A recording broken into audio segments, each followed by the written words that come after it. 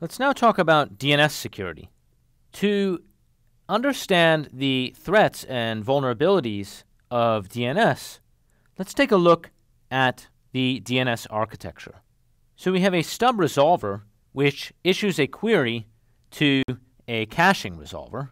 At this point, we could have a man in the middle attack, or an attacker which observes a query and forges a response. If a query goes further than the local caching resolver, say for example to an authoritative name server, an attacker could try to send a reply back to that caching resolver before the real reply comes back to try to poison or corrupt the cache with bogus DNS records for a particular name. This attack is particularly virulent, and we will look at a cache poisoning attack in this lecture.